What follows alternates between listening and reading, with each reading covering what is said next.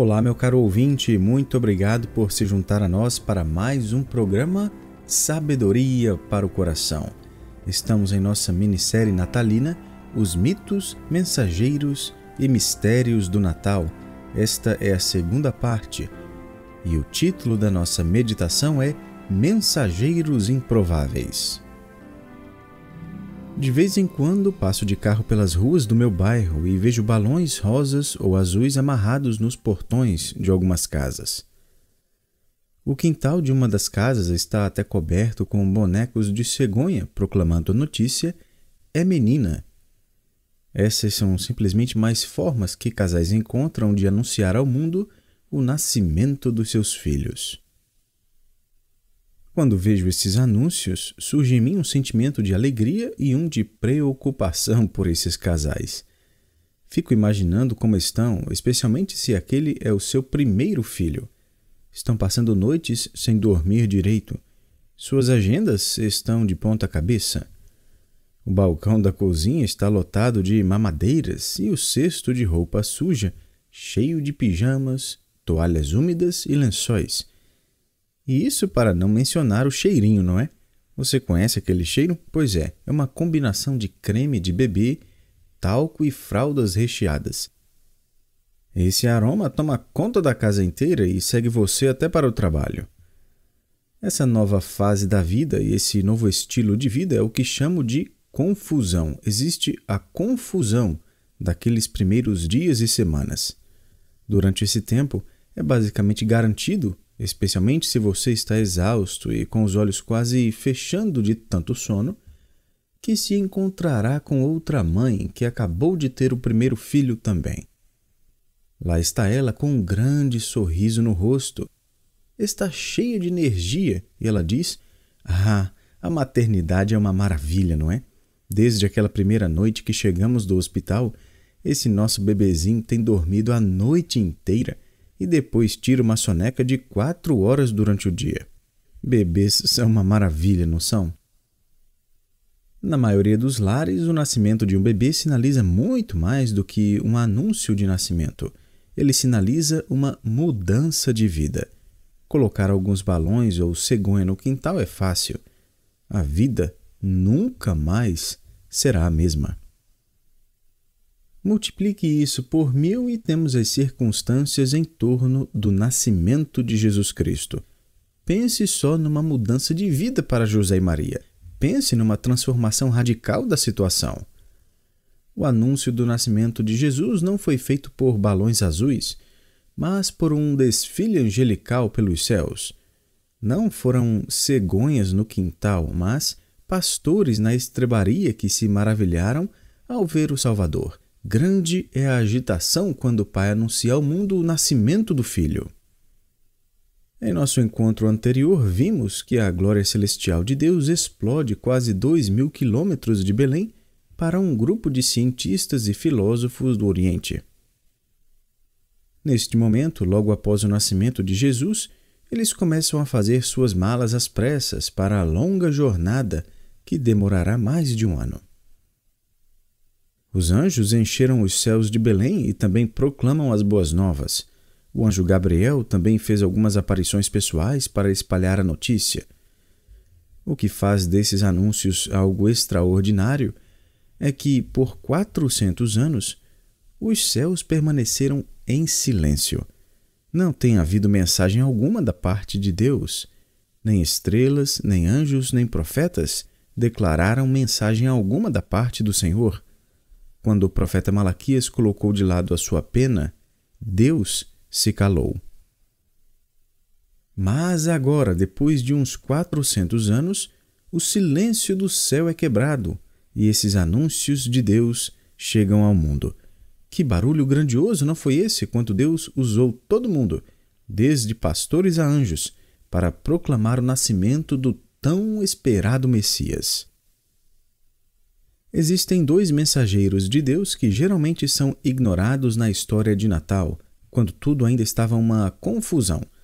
Vou dizer quem são. Um mensageiro é um bebezinho que nem sequer havia nascido ainda. O outro mensageiro é um homem idoso que estava prestes a morrer.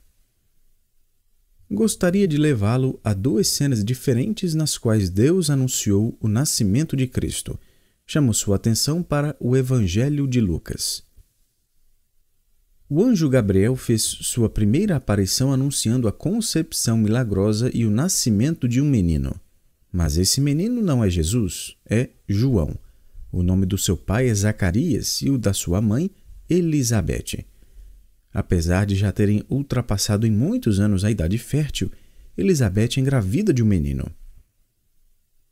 De acordo com Gabriel, o menino deverá cumprir a profecia de Malaquias e preparar o caminho para o Messias. Os quatrocentos anos de silêncio terminaram. Elizabeth dará à luz a um menino chamado João. Nós o conhecemos por seu distintivo profético e o chamamos de João Batista. Quando Elizabeth está no sexto mês de gravidez, o anjo Gabriel aparece novamente, só que dessa vez para Maria. Ele anuncia uma notícia semelhante: Maria conceberá. Mas é aqui que a semelhança termina. Maria, ainda virgem, conceberá pelo envolver milagroso do Espírito Santo. Não há dúvidas de que ela fica cheia de questionamentos. E José, com certeza, também. Antes de o anjo Gabriel ir embora, ele deixa uma palavra de tremendo encorajamento a Maria. Veja Lucas 1,37. Porque para Deus não haverá impossíveis. Agora, por que ele adiciona isso? Justamente porque Maria ouvirá não só uma vez, mas milhares de vezes as pessoas dizendo: é impossível. Nenhum homem esteve envolvido nesta gravidez? É impossível. Foi Deus quem fez isso? É impossível. Você, Maria, grávida com o Messias? É impossível isso. Maria poderia dizer: era exatamente isto que o anjo sabia que vocês diriam: é impossível, mas com Deus não há impossíveis. E para quem Maria corre? Aonde ela vai em busca de compreensão? Para onde ela pode correr em busca de conselho e ajuda? O próprio Gabriel deixou uma dica com ela no verso 36, quando disse: E Isabel, tua parenta, igualmente concebeu um filho na sua velhice sendo este já o sexto mês para aquela que diziam ser estéril. É como se o anjo Gabriel dissesse: outro bebê milagre está a caminho, outra impossibilidade está prestes a se tornar uma realidade. Assim como Sara dos tempos antigos, Elizabeth e Zacarias esperam o seu primeiro filho. Não sabemos se Maria contou a novidade para seus pais também não sabemos quanto ela compartilhou com José. O texto apenas nos informa de que ela partiu numa viagem de três dias para ver seus parentes, cujas vidas também estavam prestes a ser transformadas para sempre. Leia comigo esse encontro nos versos 39 a 40 de Lucas 1. Naqueles dias, dispondo-se Maria, foi apressadamente à região montanhosa a uma cidade de Judá. Entrou na casa de Zacarias e saudou Isabel. Preste atenção agora ao verso 41.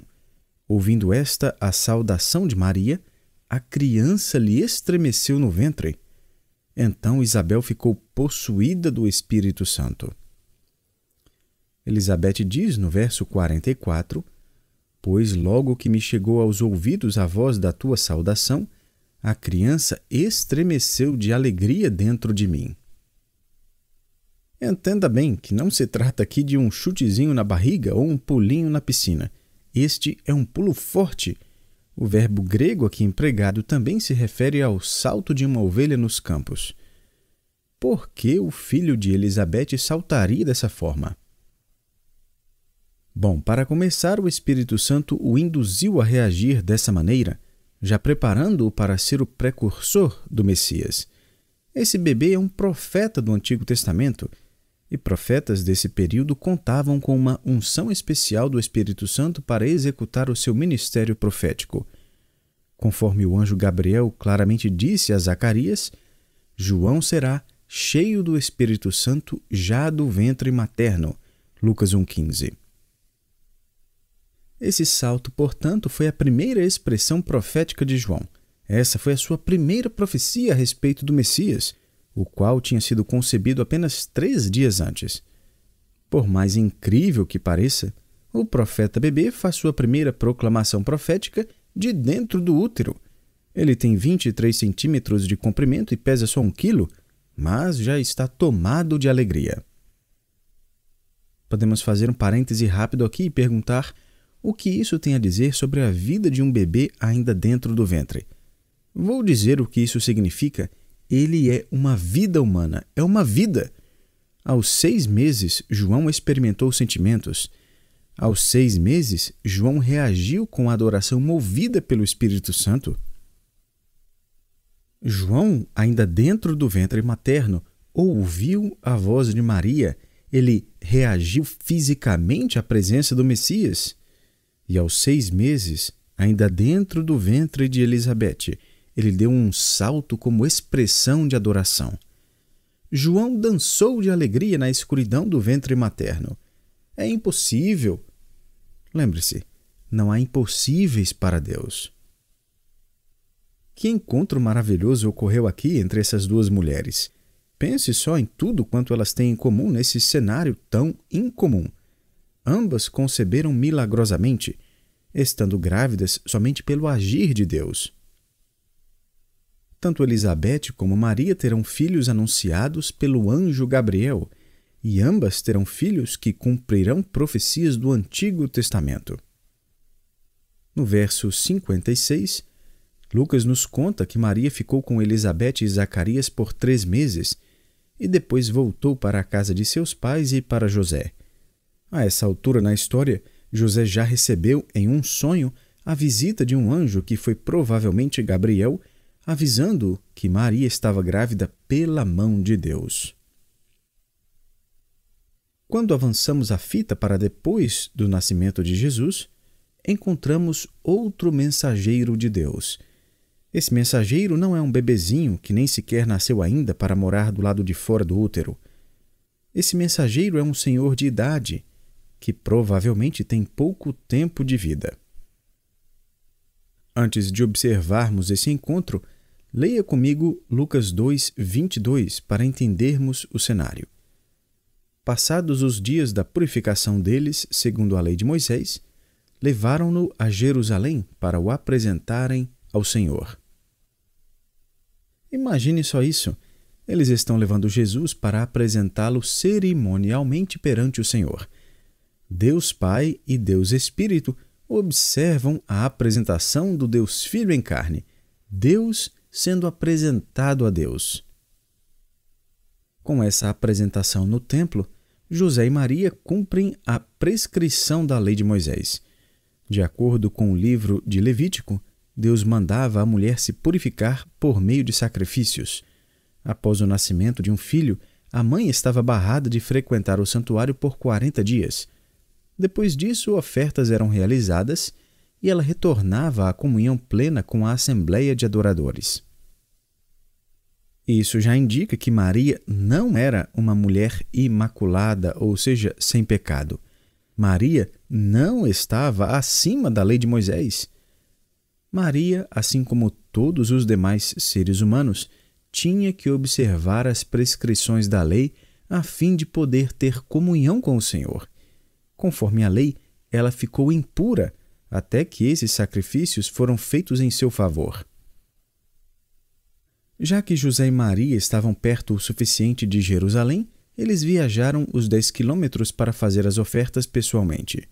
Lucas 2,24 diz que Maria e José ofereceram um par de rolinhas ou dois pombinhos.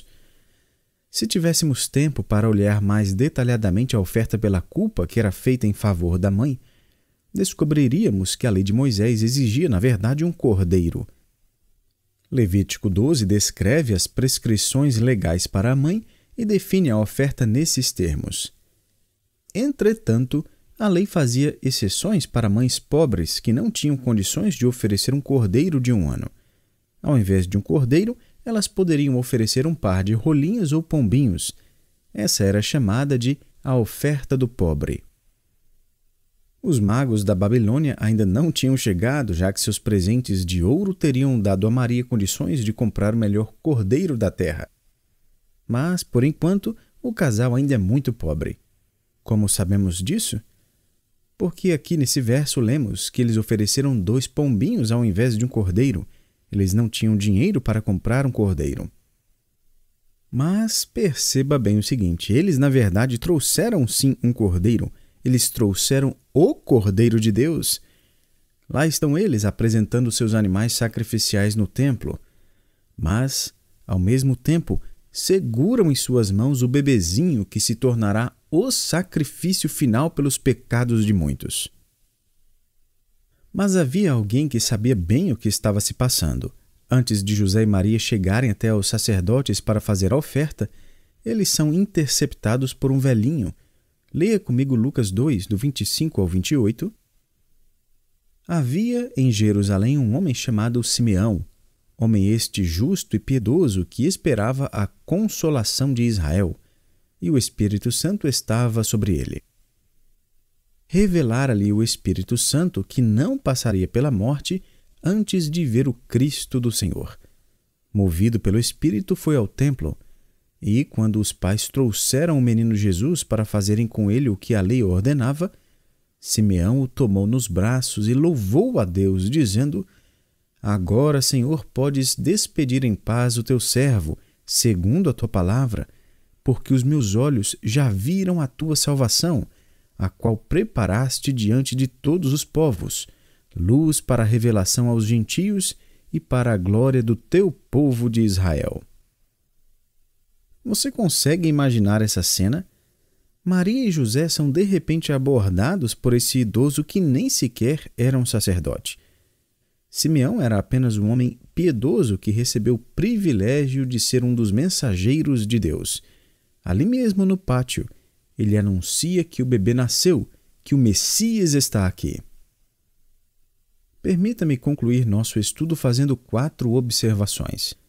Primeiro, o fato de Deus ter passado 400 anos em silêncio não significou que ele parou de trabalhar. Silêncio e soberania fazem uma combinação que nenhum de nós gosta. Entretanto, encoraje-se e encha-se de esperança durante dias tenebrosos de silêncio. Deus ainda está trabalhando. Segundo, a mensagem de Deus tende a ser ouvida mais por aqueles que desejam ouvi-la. Pense no seguinte: não lemos em lugar algum que sacerdotes se juntaram ao redor de Simeão para lhe fazer perguntas. Também não os vemos tentando arrancar mais informações de José e Maria. Nenhuma multidão se aglomerou ali, ansiosa por uma oportunidade para segurar no colo aquele bebê especial ou querendo ouvir mais detalhes sobre as implicações da oração poderosa de Simeão. Ao contrário, todos estão tão ocupados com as atividades cotidianas do templo que nem sequer notam a apresentação daquele cuja vida era retratada por todos os mínimos detalhes do próprio templo. Jesus era o pão da proposição, o pão que desceu do céu. Jesus era o candelabro cuja luz é eterna e ilumina o mundo. Jesus era o incenso que exala aroma suave ao Pai em intercessão pelos pecadores. Jesus era o sangue do Cordeiro sobre o propiciatório. Jesus era o sacrifício sobre o altar. Jesus era o véu que em breve seria rasgado, abrindo acesso direto a Deus. E também o sumo sacerdote que um dia se sentaria perpetuamente tendo concluído seu trabalho. Por que essas pessoas não ouviram a oração de Simeão? Quem sabe, talvez pelo mesmo motivo que você hoje não a ouve agora. Você também não deseja abraçar esse menino. Você não quer o Salvador em sua vida. A terceira observação é a seguinte: quando Deus escolhe agir, ele geralmente usa circunstâncias comuns e pessoas comuns para realizar a sua vontade. Deus usou um carpinteiro pobre e sua noiva pobre. Ele usou um sacerdote idoso e sua esposa idosa. Agora ele usa um senhor de idade que nem sequer é um sacerdote para erguer o Cristo em suas mãos e proclamar uma mensagem poderosa sobre esse Messias. Finalmente, mesmo em meio à confusão da correria do dia a dia, a voz de Deus pode ser ouvida e sua mão pode ser vista. Acompanhe comigo Lucas capítulo 1 a partir do verso 26. No sexto mês foi o anjo Gabriel enviado da parte de Deus para uma cidade da Galileia chamada Nazaré, a uma virgem desposada com certo homem da casa de Davi, cujo nome era José.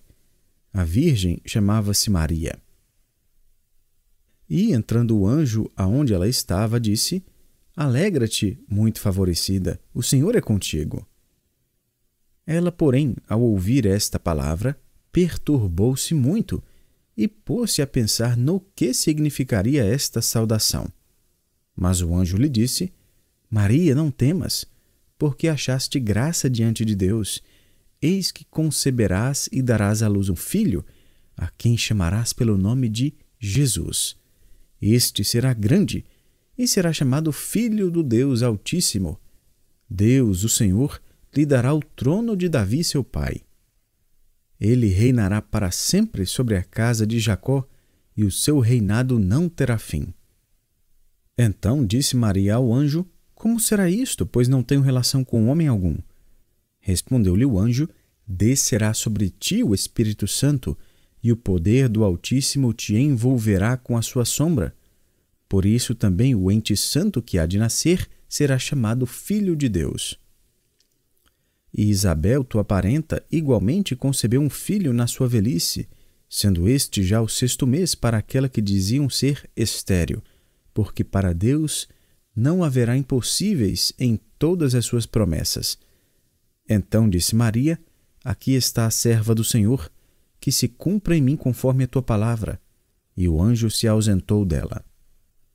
Naqueles dias, dispondo-se Maria, foi apressadamente à região montanhosa, a uma cidade de Judá, entrou na casa de Zacarias e saudou Isabel. Ouvindo esta a saudação de Maria, a criança lhe estremeceu no ventre.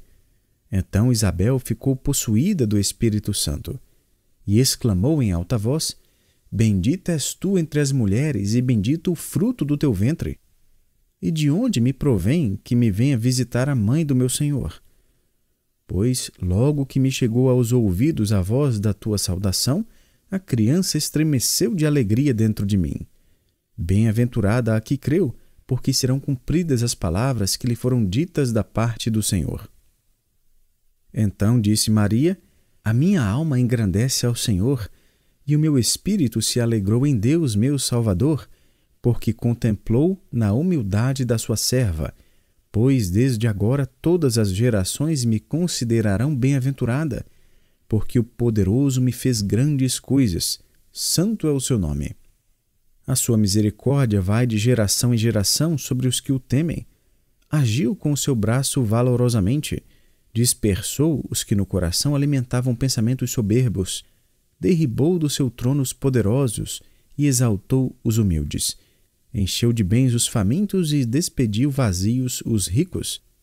Amparou a Israel seu servo, a fim de lembrar-se da sua misericórdia a favor de Abraão e de sua descendência para sempre, como prometera aos nossos pais.